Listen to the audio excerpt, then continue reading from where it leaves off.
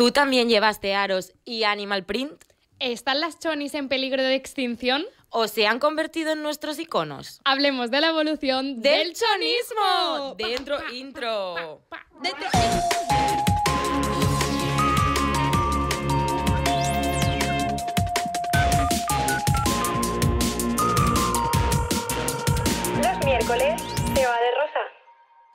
Oli, ¿de qué color se va los miércoles? Hola Marina, ¿cómo estás? Pues bien. Pues como habitualmente, de rosa. Bueno, Yo de animal print hoy. no bien. literalmente. ¿Cómo estás? Es que Bien. yo te iba a decir que habría molado un montón hacer la intro vestidas como habitualmente y de repente después de la intro aparecer hechas unas chonis, que es de lo que vamos a hablar. Hoy vamos a hablar del chonismo, sí, hubiese molado. Lo que pasa es que, claro, me lo, me lo empieza a comentar durante la intro, que esto está a mil, no la oigo y la veo haciendo. Y yo, bueno, pues no sé. Habría molado. Tengo muchas ganas de abordar este tema porque creo que es un... Pues eso, algo que muchas personas le tienen un especial cariño. Yo le No tengo especial qué. cariño, realmente. ¿Verdad? Sí, porque yo creo que pertenecen como un poco a nuestra preadolescencia, adolescencia también. Y todas las temáticas que vienen de ahí es como que las guardas en un sitio en- Sí. como especial. Sí, completamente de acuerdo. Empecemos por el principio. Venga, yo esto es- Terminó. Yo esto es un Choni. dato curioso que lo he encontrado porque he dicho, ver, choni. Todas las palabras así como coloquiales tienen como un origen que suele ser en plan de la gente, no suele Sí. ser como de la RAE. Entonces yo he dicho, ¿de dónde vendrá choni? ¿Sabías que choni viene del nombre Johnny? En plan de Johnny, de Johnny de chico. Sí. Que es como le llamaban en Canarias a los guiris de clase baja. En plan, los guiris que venían ahí como a liarla, a beber, oh, a no guau, sé o qué. sea, que es súper faltoso, en verdad. En verdad tiene un origen muy despectivo, en plan, bueno, un origen y luego tuvo un desarrollo Sí. donde al principio también era despectivo, ¿no? No, Pero cada vez más a más. ¿En o sea, plan? que al principio, vale, se refería como solo a los extranjeros, pero cada vez Claro. era más, más, más despectivo porque se, se iba relacionando con muchos temas culturales, de apariencia. eh, se convirtió en un adjetivo. Sí, exacto. Sí, sí. Qué fuerte, pues ahora entiendo por qué viene la canción de Johnny, la, gente, está, muy loca. Ya, What porque, porque se elegía ese nombre, ¿no? Sí. Pues es fuerte, sí. Ostras, Nada, esta qué era mi- bueno. Mi anécdota de inicio, ¿qué te parece? Pues me parece maravilloso. O sea, a mí me ha hecho mucha gracia que para empezar a buscar imágenes para este capítulo, buscabas la palabra Johnny en, en internet y en Google Imágenes te salía primero Ilenia Padilla, obviamente, y de chicos buscabas Cani y te salía Anuel. Anuel, el ex de Carol G. Y me ha hecho muchísima gracia. Y nada, yo he buscado aquí la definición de mm, Johnny, especialmente porque de Cani no me ponía nada, Oh, la verdad. una ha sido una decepción. a los canis. Sí. Bueno. Y me ha llamado bastante la atención porque creo que es un poco la parte que vamos a tocar de este tema, que es que se describe como que habla, se comporta y viste de forma vulgar y que no ha disfrutado de una buena situación socioeconómica. Toma ya. Pues díselo a las Kardashian, ¿sabes? Exactamente, uno de los iconos chonis Claro. más bestias. Pero ellas yo creo que representan muy bien cómo ha evolucionado el chonismo. Porque, a ver, Sí. hablemos del chonismo en su origen. O sea, ellas representan porque han sido una de las encargadas de que ese concepto cambie de sentido. En plan, deje de estar asociado a estas cosas que dice aquí, evidentemente. Sí. Pero sí que es cierto que un poco el origen viene de, de eso, ¿no? De como una clase social que se asocia normalmente a lo poligonero, que... Me encanta el término poligonero. Viva los poligoneros. Claro, tía. yo creo que esto básicamente viene porque antes eh, había mucha más fiesta en polígono y asistía como solo cierto tipo de persona, ¿no? Bueno, total. Rabero sí, poligonero. rabero. Tú lo sabes bien porque vienes de Valencia. De Valencia, de la tierra de la ruta del bacalao. La tierra de las raves es que en naves cual- industriales. No, y real Sí, son sí. así, o sea, y claro, esto pues viene todo muy influenciado por la estética, que es lo que más nos interesa a nosotras también, y por todo el movimiento que generó, pero no era para todo el mundo. Exacto. He leído que aquí está apuntado un señor que se llama Su Morenico 19. Es que yo para empezar a hablar de el chonismo de forma origen y antiguo, quería hacer referencia a su morenico, su morenico 19, que es el de yo soy Cani, Cani, Cani, Cani, yo soy Cani, Cani, Cani, Cani, Cani. Vimos el vídeo, sí, Esa sí, persona yo creo que marcó a toda una generación, no es coña, todo el mundo se sabía esta canción Hmm. como te sabes el remix de I wanna know, no, no, no, no Ah, vale, sí. que sí. todo el mundo se lo sabe. Y-. Exacto. Podríamos seguirlo, podríamos Todo seguirlo. podríamos. Y yo he flipado al descubrir, seguramente llegue más tarde que nadie en la faz de la Tierra, que esta persona es el streamer Thorman. Es Ya, muy heavy. Yo tampoco lo sabía, en plan, no sabía que podía tener vida más allá de esto que hizo en su Y- momento. Y me parece increíble porque sí se puede salir de ser Kanye. Se puede salir. Aunque esto era un personaje, Claro, era una obviamente. parodia, yo creo, Sí. porque era muy heavy. Como Que a mí me parece un poco como la traducción a lo que sería ahora, por ejemplo, el cejas, ¿no? Sí, Dios, es que el cejas es literalmente esto. El cejas yo creo que es un personaje actual que ha recuperado muchos elementos del chonismo que vivimos nosotras en nuestra adolescencia, porque hay que decir que creo que el chonismo actual y que están viviendo los adolescentes de ahora, bueno, es que existe el chonismo. Yo creo que sí que existe, y lo veremos más adelante en trends que son ahora mismo virales en redes, que demuestran que lo- las chonis no han muerto, ¿no? En plan, que sigue habiendo ahí la estética choni. Lo que sí que creo que ha muerto es la concepción que teníamos de eso. Y está muy bien, porque Sí. antes se utilizaba como esas choni. Y es como, Exacto. wow. Creo que eso sí que ha desaparecido por fin. Sí, eso me gusta porque es como que hemos evolucionado en poder asociarlo sencillamente a una estética Claro. que yo creo que se vincula bastante a una forma de vestir más que a algo cultural que es como se decía en nuestra época. Exacto. O sea, no tiene por qué ser una persona que se tira en una rave hasta las 5 de la mañana y que consume y que... No, No. no, tiene por qué ser eso. Que por cierto, esto me hace pensar en si es se consideraba que, por ejemplo, de la época del 2010 Hmm. éramos personas con poca cultura porque el ser choni y el ser cani era algo que estaba muy generalizado. Hmm. Bueno, es que esta imagen en pantalla es puro oro. Dios mío. Un puro grupito de chonis que encima del título de esa foto ponía cuando las chonis de tu barrio pegan a otras más chonis.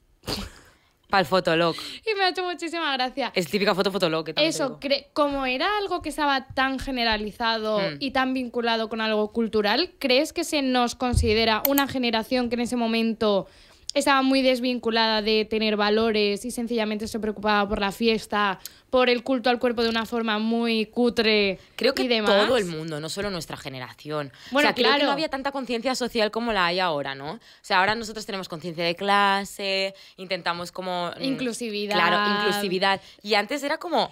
Podías ser despectivo de manera abierta, Sí, ¿sabes? por favor, porque podemos hablar de programas de televisión Total. que hacían homenaje tras homenaje tras homenaje a gente que era Johnny y Kanye en este sentido de Yo es que no se me viene otro a la cabeza que Jersey Shore Jersey Shore.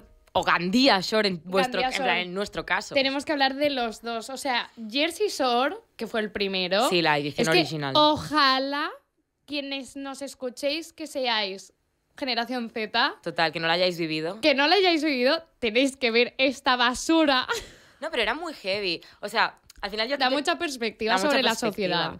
Eh, yo aquí tenía apuntado que como el concepto de choni se consideraba a alguien de baja clase, eh, el filtro de ese programa, al final en lo que consistía o de lo que se reían, era de gente de clase baja. Sí, o sea, sí. realmente era montar un circo de, de- de gente pues que no había tenido la educación o las salidas laborales o lo que sea. Los metían ahí todos juntos y bueno, Y yo venga. me acuerdo que lo ve- tal cual, y yo me acuerdo que lo veía y siempre pensaba que se peguen. Tal cual, ¿eh? Porque se era gente que estaba predispuesta a pegarse. Y se pegaban, te iba a decir. O sea, no es que se peguen como ahora en plan, se van a pegar. No, no. No, no, Que se zurraban. cargaban. Que Sí, sí. ahora pienso, madre mía, eh, todas las cosas que hemos visto en estos realities que ahora completamente ilegal. Sí, pero yo tampoco he salido tan mal. Quiero decir, mi cabeza no está tan claro que no. Entonces pienso, A ver, toda Tampoco la me afectó generación tanto. yo creo que ha salido bastante bien. claro, no me afectó tanto ver a dos personas completamente desequilibradas dándose de tortas. Lo que yo siempre pensaba es, ¿y el pobre cámara? Que está así, Al lado, al lado, en plan con la cámara así, sin poder separarles. la otra ahí, y tú no haciendo nada. Y ahí todo borracha tirada por el suelo que dices, madre mía, ¿cómo te recupero? No, no, heavy. Yo lo que he sacado así interesante de Jersey Shore, que me parece bastante bestia, es eh, cómo las marcas tenían muchísimo miedo a que apareciesen sus prendas en estos realities. Por ejemplo, hay dos casos que te voy a contar. El primero es que los los protagonistas, sobre todo los chicos, vestían bastante de Abercrombie. Entonces, Abercrombie pagó al reality para que no llevasen las prendas, porque aunque Abercrombie, bueno, ya lo hemos hablado otras Sí, veces, sí. nos vende esa imagen de musculoso, californiano. Que de hecho se correspondía un poco con el perfil de tíos, de, Pues, de aun- físico, ¿eh? Claro, Digo. aunque de físico coincidían y se hablaba mucho de que Abercrombie debería de estar como de cierta forma orgulloso, no porque había ahí también un cierto tema de discriminación porque el, el chico Abercrombie era deportista, pero era el típico deportista estadounidense que Sí. si no consigue una beca no entra a la universidad de Total. deporte y saca súper buenas notas. Y aquí era como típico bullero. Y luego, otro de los casos más famosos y que luego se ha utilizado mucho como estrategia de marketing es lo que pasaba con los bolsos que llevaba Snooki. Ah, bueno, Porque a Snooki, claro, empezó a ganar muchísima pasta y ella quería llevar bolsos de lujo. Entonces, Louis Vuitton le pagó muchísimo dinero para que no llevase ninguno de sus bolsos y encima, si veis imágenes, siempre llevaba bolsos de Gucci, gafas de Gucci, bueno, gorras de Gucci y es que se los regalaba Louis Vuitton.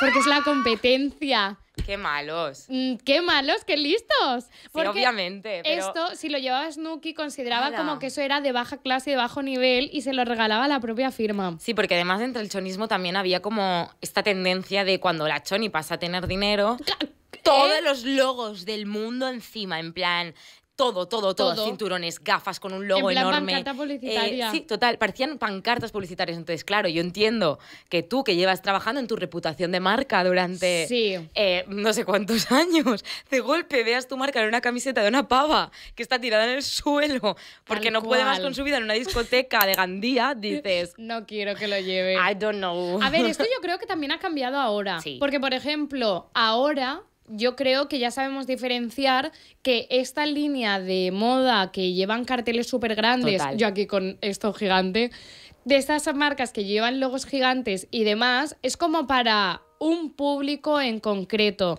O, sí, o sea, la sí que- logomanía está... Claro, sí que en verdad Hmm. dentro del consumidor de moda de lujo hay como pues diferentes estilos. Pero bueno, tampoco eso ya es cierto del todo, ¿eh? No, o sea, hay de todo un poco, porque Depende. creo sí. que está tanto, o sea, depende de un poco cuál sea tu estilo, pues arrimarte más al show off Claro. o al normcore, de pasar desapercibido. Sí, de como un poco un lujo más silencioso, un Claro. lujo más. Exacto. Por eso se llama de como de nuevos ricos. Silent look. Claro, todo así más llamativo. Sofía Richie. Sí, tal cual. Y luego, otro de los iconos que yo creo que tuvimos. Ah, no, estábamos con Gandía Sor. Porque Claro. yo iba a decir de iconos así, de, de primeras chonis que yo veía Hmm. muy, muy, muy famosas.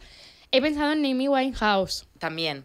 Pero ¿sabes qué pasa? Que cuando se trata de esta estética, concretamente Amy Winehouse, creo que también se asocia como un poco al estilo del blues, del rock, y ahí no es tan despectivo, es como más una elección, la familia Osborne, eh, también la Dolce Vida italiana, que también hace como mucho hincapié en los animal print, entonces Sí. ahí ya tiene como otro tipo de connotaciones.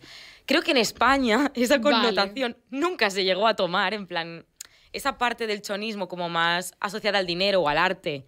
Sí, se como a lo alternativo, Claro, ¿no? exacto.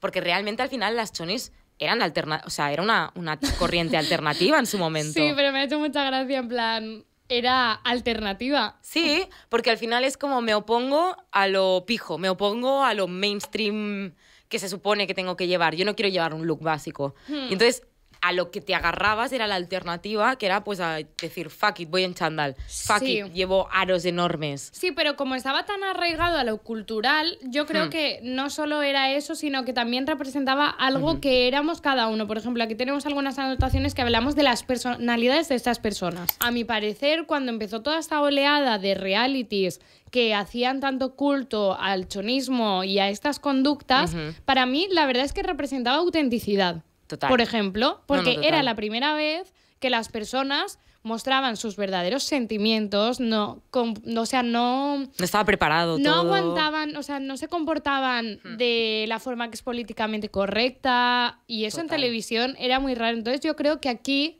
empezamos a establecer unos lazos con el chonismo. Sí, porque lo asociabas soy yo. al carácter, ¿no? Porque lo asociabas al carácter, tía, Claro. al tener ovarios, al decir las cosas y por una parte eso está bien. Y luego yo también tenía apuntado que otro, bueno, el gran icono, como bien has dicho al principio, era Ilenia, ¿no? Ilenia, es que Esta persona que, que era Ilenia como es maravillosa porque no se quedó eh, atrancada en ese momento tan bueno. Bueno, porque ha evolucionado por suerte para ella y para todos.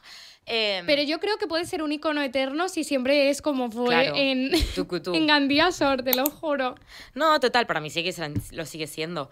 Pero también era como la representación de que Ilenia en aquel momento era una persona que no estaba formada, que no tenía como otro contexto que no fuera aquel. Y puedes ver que cuando luego fue creciendo en televisión, pues bueno, también su carácter Me- se fue domando. Y un también poco. su imagen. Total, su imagen por A ver, completo. su pelo siempre ha sido de este color oxigenado que brillaba en la oscuridad. Me encanta, ¿eh? Es que es fantástica, o sea, yo la veo y la amo. Me encanta. Entonces, ¿se podría haber mantenido así? Podría haberlo hecho. A Sí. ver, ¿tenemos algún icono? Estoy ahor- ahorcando con el... con- o sea, no es que me mol- es que me ahorco con el collar, o sea... Bueno, voy a parar ya, ya está. Sí, eh, suéltatelo porque no, qui- no quiero perderte. no puedo. Eres muy importante Es para que no mí. puedo, o sea, ¿Necesitas estoy ayuda? atrapada. ¡No boni- puedo! Lo que nadie os cuenta de estos collares tan monos que se han puesto de moda, que te van a matar. Cuando te asesina el chonismo. Total, o sea... El chonismo atentando contra nosotros Bueno, a ver, esto es mismos. cierto que hay más que Choni, ¿no? Pero... Yo te iba a decir, bueno, eh, Ahí, ahí, eh. ahí, ahí. Te iba a decir que si crees que tenemos algún icono choni que se haya conservado tal cual desde entonces hasta ahora que digas, buah, tía, es que no, no has avanzado o tío, no has avanzado. mm, no Yo recuerdo. creo que Cristiano Ronaldo. Ah. Yo estaba pensando... Cristiano Ronaldo siempre ha sido muy cani. Sí, sigue siéndolo, Y ¿eh? sigue siendo cani y en su pura esencia, oye, tío, súper respetable, o sea, No, no, llevas total. dentro. Sí, que es verdad, y, y que se siguen haciendo como las cosas estas en el pelo, todo, los bronceados estos extreme. No ha cambiado en nada. Tú pones una foto de Cristiano Ronaldo el A día ver. que se hizo famoso. Ah, No, ha Yo- cambiado. A ver, ha cambiado. su- Físicamente, porque No, tía, ha cambiado su cuenta bancaria. Y te su cara, digo. te iba a decir, a raíz de su cuenta bancaria, su cara también ha cambiado, porque si buscas una foto de Cristiano Ronaldo con sí, 18 pero años, yo hablo de, flipas. de- de los elementos. No, Bronceado, pelito para arriba, rayita, rapadita. Tener 20 coches así Exacto, como sí. maquineros. Sí. sí. ¿Coches maquineros? Sí, de esos que parece que... vay- O sea, me refiero a esos que parece que vayas a abrir el capó y vaya a abrir un, un- como... Un altavoz Un altavoz gigante. enorme dentro. Pues a mí todos me dan esa sensación, en plan... Un coche amarillo. Sí, coche amarillo. Esto también viene del chonismo porque en nuestra época, cuando eras crío y veías un coche amarillo, le dabas como un puñetazo al de al lado. Eh, recuerdo eso lo que... ¿No hacías esto? Paola era muy violenta en su infancia. ¿No hacíais esto? ¿Esto solo se No. hacía en Valencia? Bueno, No igual no, te igual es que yo era creo. muy buena, no lo A sé. ver, yo me he movido por muchos entornos chonis. Claro, es que Valencia también es reconocida por los tetes y por... Sí, en Valencia ha habido mucho chonismo, por favor. Icono del chonismo valenciano Rafa Mora. Rafa Mora. Vale. Rafa Mora sigue un poco igual. No igual porque ha cambiado, pero sigue siendo como ese Sí, cani. sí. Entonces, en Valencia se hacía esto. Coche amarillo, pa. Y es porque antes, en el chonismo, había muchos coches amarillos y era como una insignia. Total. Ahora estate que ves un coche amarillo. Es Yo- que te lo rayan. ¿Cómo Es que te lo rayan? Sinceramente, yo ir con un coche tan llamativo no me atrevería porque dirías que me lo van a rayar. ¿Pero qué estás diciendo, tía? Yo estás sí. respaldando el discurso. No, yo no lo rayaría, pero que yo no me lo llevaría porque tendría miedo de que lo hicieran. Sí. Vamos, que no tenemos ni idea de coches. Vamos No. a cambiar de tema. No, yo prefiero llevar uno grisecito y pequeñito y que no me lo volvi- vea nadie. Volviendo al chonismo, Eh, sí, perdón, tenía apuntado que lo que has dicho de las marcas y tal es que nos vamos, ¿eh? Nos No. vamos, nos vamos. tiene mucho sentido porque yo he leído que viene de un estilo que se llama lat británico, que yo no sabía ni que existía ¿El qué? esto. Lat, o sea, British lat, Sí. que es como se llamaba como a la masculinidad de la clase trabajadora y que estaba como muy vinculado No me con digas. el fútbol, con todo lo que es como la camaradería, camaradería Cama- sí. todo esto. Entonces, he leído que lo que llevaban normalmente este tipo de grupos son ropa deportiva, obvio, casual y urbana, y que las marcas, o sea, prendas como chaquetas de chándal, chándales, camisetas gráficas con mucho logo, Sí. deportivas. Y sus marcas favoritas eran Fred Perry, Adidas y Stone Island. Oh my God. Entonces, mm, tiene mucho sentido que esto beba de ahí, porque en realidad lo piensas y se podría corresponder bastante. Entonces, sí, sí que tiene algo que ver. Y luego otro dato también que me ha gustado mucho leer era una declaración como de una chica que estudiaba el chonismo y que la ponía en un blog. Me encanta. me ha encantado y la voy a leer que pone... El desnudo de una pija se considera artístico y el de una choni un desafío al mal gusto. Oh. Y he pensado, total, Pues es verdad, Total. es verdad. Te sale una influ de estas pijitas super monas con su moreno de Ibiza y no sé qué, así. Bella Hadid. Claro, así y dices. Monísima. Monísima. Ay, qué, qué intenso, qué deep. Te sale una La Zoe, la Zoe. y dices, grotesca. Con el, con el encaje, no sé qué. Amo a la así, Zoe. Con un piercing y dices, uff, qué mal gusto. Sí. O sea, no, no que lo es- digamos nosotras, no me pasa. No, no. Pero Sí, pero tienes toda la razón. entonces es como que se penaliza mierda. la sexualización del cuerpo femenino porque va asociado a este tipo de alimentos. Hay alimentos de, de elementos, de elementos, que se me va la olla. Tenemos hambre. Desde el último capítulo de moda y comida tenemos hambre. Yo sigo teniendo hambre, sí. Qué bueno, pues sí que es cierto. La verdad es que sí que es verdad. O sea, cuando ya ves como una mini, mini, mini falda, dependiendo del contexto, puede ser como súper alabado o criticado. Es más, yo creo que lo hemos visto Hmm. con las tendencias de ahora. Sí, sí. Porque, por ejemplo, en el chonismo este del 2010, las ultra mini faldas eran de súper mal gusto y Total. era algo muy choni, la falda cinturón. Y ahora vamos, súper aplaudido, súper no sé qué. Monísimo. ¿Por qué? Porque lo ha hecho Diesel y Miu Miu. ¿O Sí, por qué? pero yo creo que es un poco porque, vale, ahora que hemos repasado lo que era el chonismo de la época, ahora con este ejemplo que hemos puesto, yo creo que es como el punto de inflexión de el, el- en el momento actual ya no existe el chonismo, ya no lo criticamos, ya no... ¿Cómo ha evolucionado? sea, vamos a ver ahora claro. qué es una choni. Ya no lo degradamos. Al Vale, menos, sí, ¿no? eso... Como que lo hemos... eh, Abrazado. o sea, sí, es como si lo hubiesen puesto en agua y se hubiese disuelto un Sí, poco. se ha diluido Exacto. un poco las líneas porque, claro, es que antes una choni era muy reconocible en plan bestia. Hmm. Es que esta expresión no tiene ningún valor en plan bestia. Pero realmente tenía muchos elementos como los aros, las extensiones mal puestas, los cardados, los eyeliners. el moreno fal, en plan, el moreno spray, Sí. eh, el moreno de pelo falso, que esto es algo que a mí siempre me ha fascinado, que es ese tipo de tinte que cuando te da un reflejo es como morado o azul, sí. que es como wow, las lentillas de colores, También. es que los maxibolsos, eso es así. Incluso ciertos tipos de zapatillas, porque yo me acuerdo Total. que eh, si era zapatilla con muchísima suela, era súper choni. Total. Y si llevabas zapatilla finita, de suela fina, como son ahora las Gazelle, era súper de buen gusto. Las gazelle. Exactamente. Yo he venido aquí a, mezclar todo. A ver qué nos enseña. He bajado la pata porque Marina no- lleva todo. O sea, ha dicho, a ver, que vamos a hablar del chonismo antes y ahora. Pues mira, Soy yo me, planto un yo me planto un vestido de leopardo que podría ser súper choni, pero con las Gazelle que ahora es, es, es Claro. que es un moa. Soy un bazar hoy mismo. Pero esto ha cambiado Sí. mucho porque ahora no hay elementos. O sea, dime tú algo que veas de la vestimenta de ahora que digas, wow, es que es súper choni. En esta connotación, nada. Creo que sí que hay- se ha pasado más a la estética. Sí. En plan, en el beauty, mm, en el universo beauty, sí que siguen habiendo cosas. En plan, el Tanet este de spray, para Sí. mí sigue siendo como wow. Sí. Pero aparte de eso, todo lo que es vestimenta creo que se ha normalizado muchísimo. Sí, ¿tú crees que tiene algo que ver nuestros iconos? Sí, claro, totalmente. Por ejemplo, que antes no habían tantas personas que eran admiradas con este tipo de estética. Sí. O sea, creo que las redes sociales, otra vez de nuevo, nos han puesto en valor eh, perfiles como a los que antes, si no vivías en esos contextos, no tenías acceso, ¿no? Sí, porque por ejemplo tú hablas de... La Zoe, por ejemplo. o- Vale. yo a la Zoe igual, en una época en la que yo no hubiese tenido Instagram, yo igual por contexto no hubiese llegado a saber quién es ella, Sí. En cambio, ahora sé quién es, la sigo, me gustan las editoriales que hace de moda, sale en absolutamente todas las publicaciones de moda. Entonces es como que ha llegado a los imaginarios de todas las personas transversalmente, sean de la clase social que sean. Claro, es como que lo que era Choni en nuestra época ahora ha evolucionado y se ha convertido en algo muy admirado que es ser Ratchet. Total. Yo Sí. creo. Para mí esa es la traducción, un poco. Pero ahora es ser moderna, ahora es ser atrevida, ahora Total. es ser empoderada, ahora es levantar la voz sobre tu discurso, sobre tu apariencia. Claro. Y que también ahora las apariencias creo que no nos las tomamos tan en serio. En plan, Ah, Como que hay... claro, tú antes eras. Choni y eras Choni. Sí. Tú ahora un día te puedes levantar y decir, voy a ponerme un look súper choni. ¿Crees te lo que somos pones. más incoherentes o más Sí. hipócritas? No, más incoherentes. Yo no diría hipócritas porque está bien para mí Yo jugar. siempre digo que la moda es súper hipócrita. Pero a mí me gusta jugar. Es como si a un actor le dijeras falso.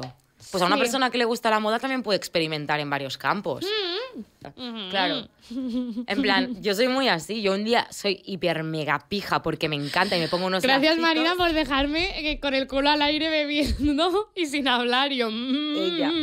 Nada. Descifra el mensaje. Que a mí me gusta ser un día muy mega pija y otro día ponerme este vestido que llevo hoy, que lo tengo de manera no irónica en mi armario, ¿sabes? Exacto, yo creo que es como una hipocresía buena. Sí, exacto. Pero ellas son coherentes. O sea, yo tengo que decir que nunca he visto salirse de su estética ni a Bad Gyal, No. por ejemplo, que es otro de nuestros iconos, ni a la Zoe. Claro, Dentro no, de, no. Este, de este chonismo, e incluso han conseguido que personas que no se han considerado chonis en su vida, hablando en, esta, en estas terminologías, ¿vale? Que suena un poco raro, eh, quieran incluso llevar sus elementos, como pueden ser las uñas XXL. Claro. ¿Sabes? Eso diría que la persona que lo ha vuelto más, más, más mainstream es la Rosalía. ¡La Aunque- Rosalía!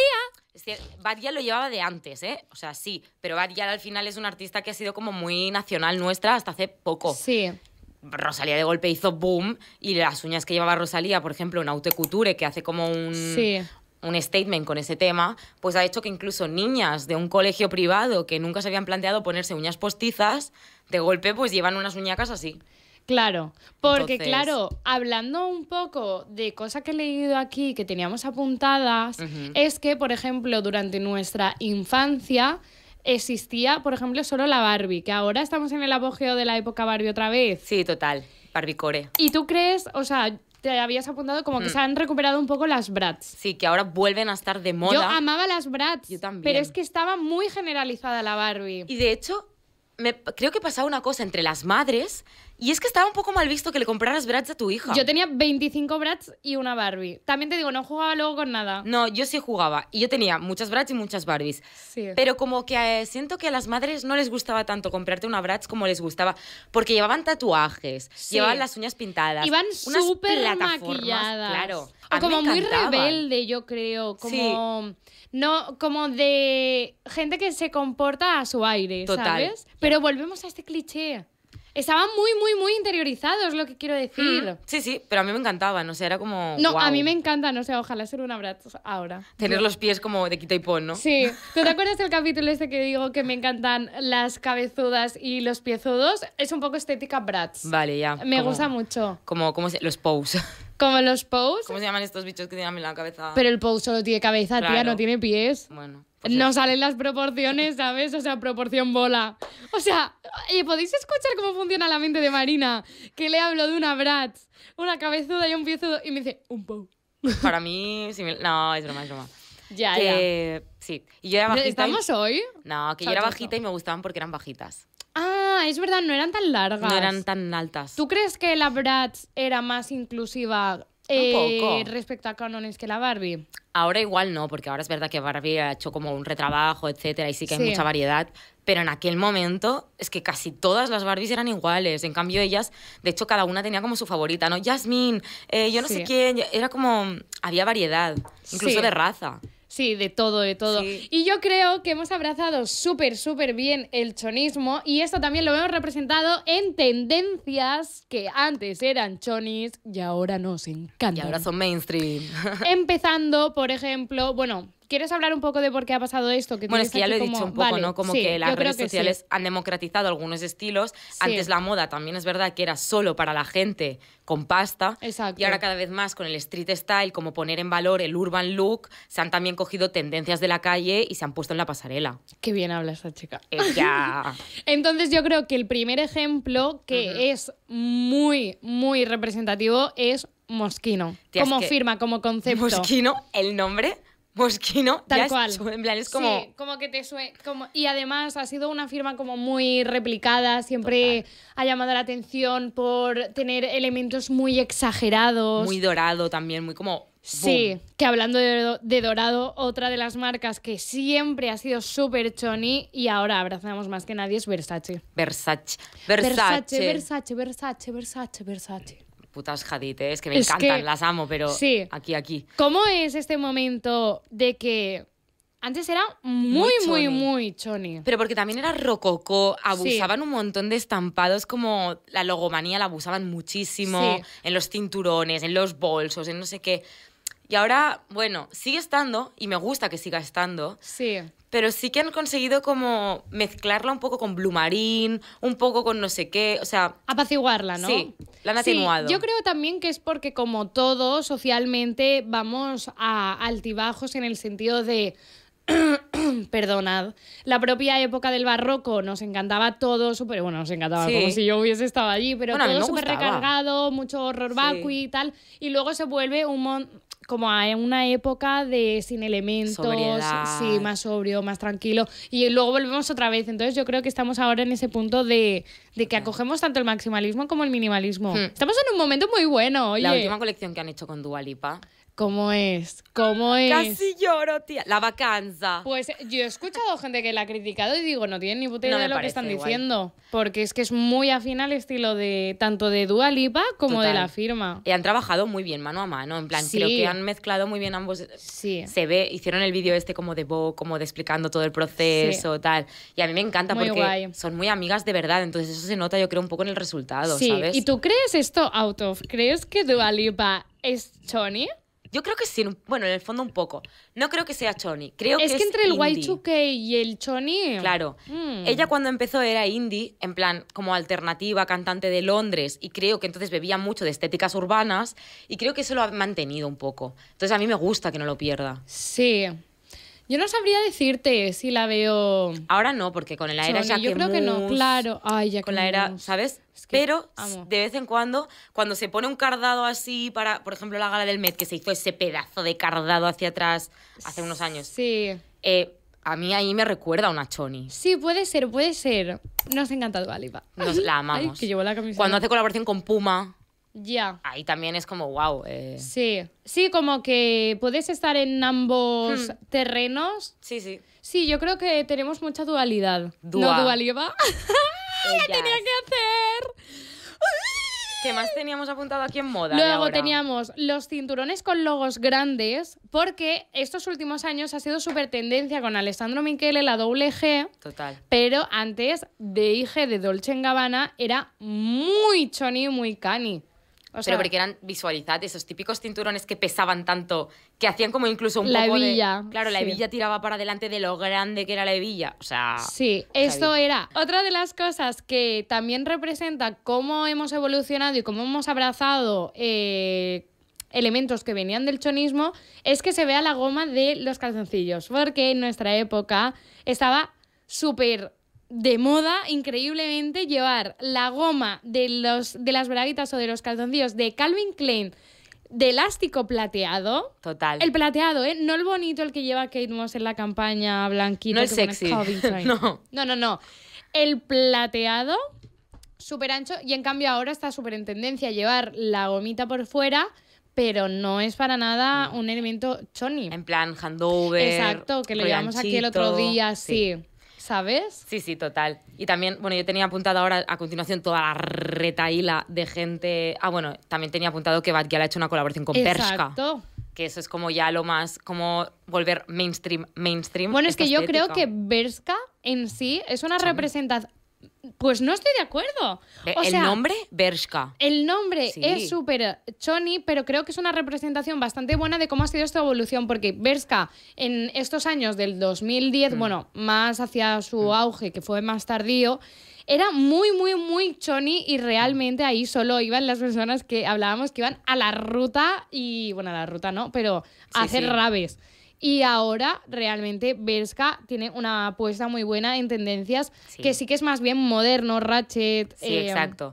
Pero que sigue manteniendo para mí, es que claro, cuando tu marca Ya, nace es de que ahí, yo soy choni tu poco. esencia nace de ahí, entonces eso va a ser inherente a ti un tiempo. Como yo, es que lo llevo en el grupo Sí. sanguíneo. Nada, y tenía apuntado ahora como Rosa- eh, Rosalía, no sé qué, que son Sí. como un montón de nombres que han ayudado a que esta tendencia se vuelva mainstream. ¿Sí? Y los voy a decir. Dale.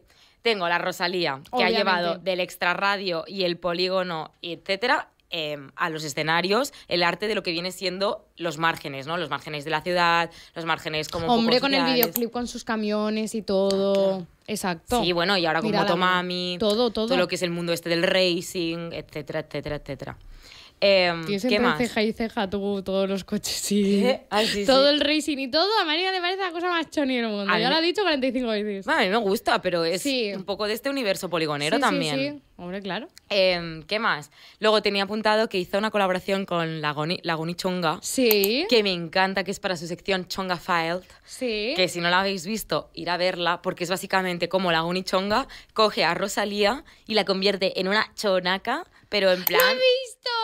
Me encanta, adoro. Rosalía. Uh, Me encanta. pues maravilloso ir a verlo. Es que la gonichonga tiene una estética de por sí que... Entonces, gracias Rosalía por llevar a lo mainstream mm, pues las uñacas, los prints, los aracos, Sí. los chandals, la logomanía, todo, todo, todo. ¿Quién más? Las Kardashian. Obviamente. ¿Tú crees que las. Kardashian son la madre de, de la- las madres de la globalización del chonismo? Puede ser, porque ese primer cartel en el que salía Kim Kardashian así, así como medio de espalda, con el vestido que se parecía muchísimo a este, yo ahí, en plan, visualizar animal print en estas mujeres, dije, pues, Sí, sí, yo me Top. acuerdo que cuando se empezaron a hacer famosas, mi madre me dijo un día, ¿quiénes son? Y yo le dije, pues cinco chonis. pues muy bien, pues está y bien era una cría. Eh, Charlie XCX, que es un ejemplo de una cantante como indie que sin ser chone explícitamente también ha trasladado como algunos alimentos en plan cardados, eyeliners muy bestias, eh, pelo negro salvaje, etcétera, etcétera. Sí, pero es más rock, ¿no? Un poco. Es más una mezcla. Yo creo que es indie, pero que incorpora estas cosas de manera natural. Sí, pero... Correcto. ¿Qué más tenía? Bueno, Batial, Cardi B, Nicki Minaj. Cardi B, Nicki Minaj, yo creo que Heavy. también. Sí, pero porque ellas también representan un poco esto que decíamos de eh, la gente que ha salido de, bueno, ellas mismas lo dicen, de la extra radio, ¿no? Lo Sí. dicen ellas. Antes, todo lo que era em, estética choni en beauty era súper rechazado y como eh, solo lo natural, solo lo que no se nota que vas maquillado. Y ahora de golpe hay mucha tendencia por eyeliners bestias. Pero como una cosa muy natural, eh, uñas XL, delineados de labios, que esto ahora se ha vuelto a poner como súper de moda el Sí, hacerse el eyeliner el del labio incluso las cirugías estéticas. Sí. Que esto es antes estaba como rechazado porque las 90s girls, estas así, están delgaduchas, no se operaban nada y ahora de golpe el lip filler, los pómulos, el pecho exagerado, todo esto como que hay ciertas corrientes que lo recuperan. Sí, por ejemplo, por, por ejemplo, los que vemos en los que has recuperado para visto en redes, que yo creo que es uno de los más representativos. Empezamos visto en redes, que esto es lo que está pasando ahora en redes, que representa cositas de estas, que son las Cheeto Girls. Sí. ¿Quieres explicar tú? Porque tienes un vídeo maravilloso en TikTok Hice hablando un de las Cheeto vídeo Girls. sobre las Cheto Girls porque la verdad es que me pareció tan curioso como faltoso cómo se estaba viviendo este fenómeno en redes, porque generalmente una Cheto Girl se relaciona pues con la típica chavala, sobre todo, que está en nuestra clase, que es mayor, porque es repetidora, entonces ya estamos haciendo referencia a algo de estudios, que hace muchísimo ruido, que siempre está arreglándose, preocupando, pues, preocupándose por su imagen estética. Así es como se representa en redes, ¿eh? Sí, Exacto, sí. así es como se representa en redes. Y realmente esto es como un poco una sátira, ¿tú crees que llega Sí, a es ser? parodia, estigma, un poco. De cómo se ve a la mujer latinoamericana, sobre todo en Estados Unidos. Total. Y básicamente yo estuve hablando de esto y creo que es un buen ejemplo de, de cómo se vive el chonismo hoy en día. Si lo buscáis en TikTok, en plan ponéis Cheto Girl, lo más sale. probable es que os salga gente imitando a Sí. un- una chica con esta estética. Y lo que Sí. dice Paula, pues siempre salen eso, como comiendo muy ruidosas, haciendo cosas con las uñas. Sí. Es como, wow. Eh, y luego también había un tren que a mí me encantaba, que era el de Retired Hot Cheto, Cheeto Girls. Sí. Que son chicas que antes pues hacían como mucho bronzer falso, eh, se ponían mucha pues extensión o pestaña y te hacían como el, El antes y el El antes y después. el después.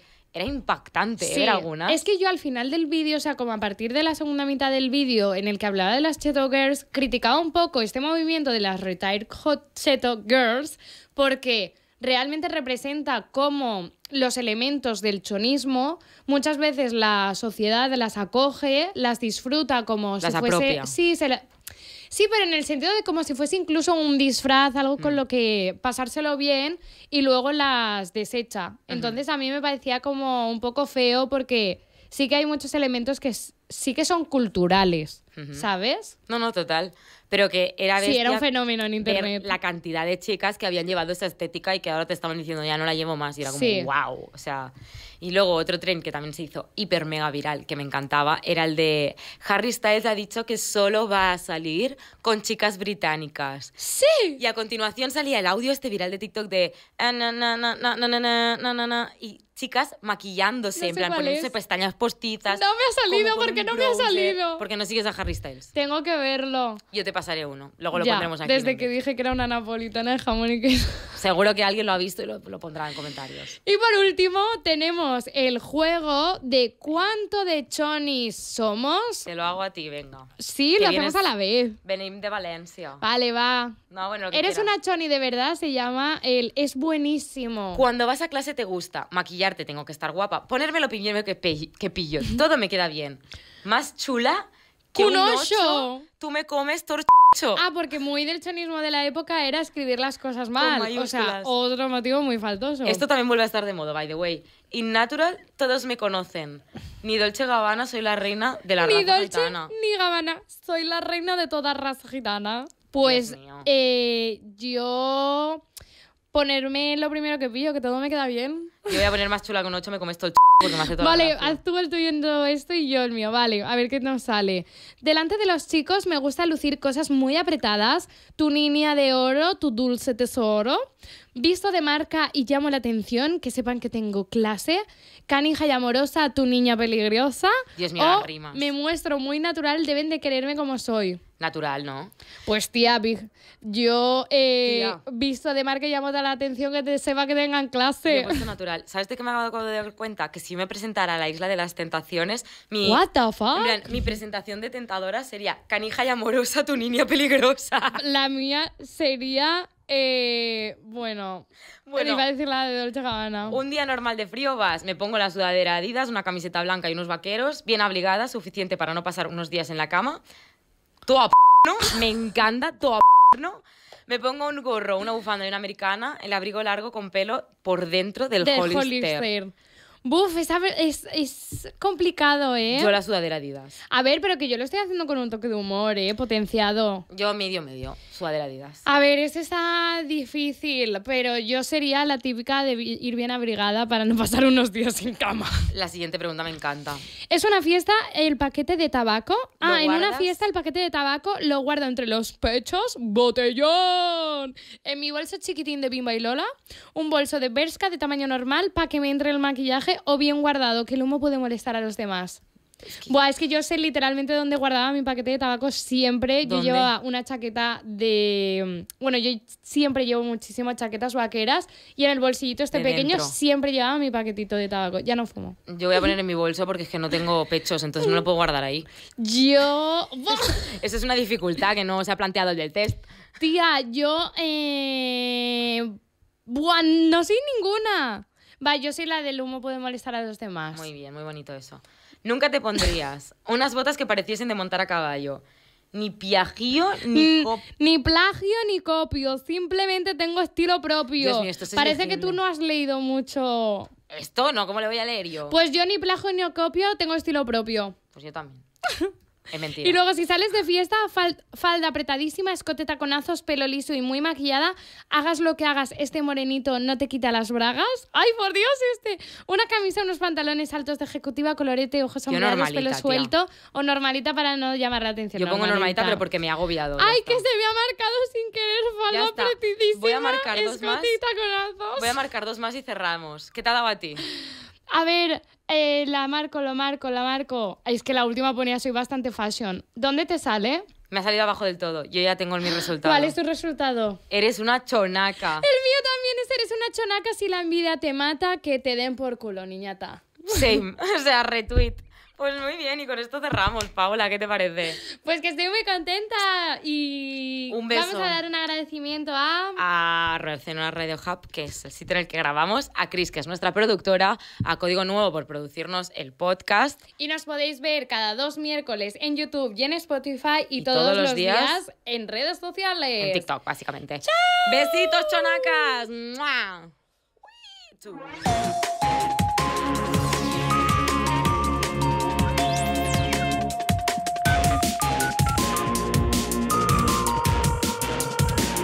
miércoles se va de